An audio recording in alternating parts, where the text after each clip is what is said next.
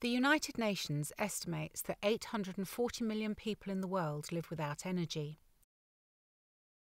It aims to provide universal access to affordable, reliable, and modern sources by 2030 through its Sustainable Development Goals. For more than three years, Marco documented how the lack of access to energy impacts people living in Tanzania, Kenya, Ghana, Bolivia, and India for this compelling project, Energy Stories.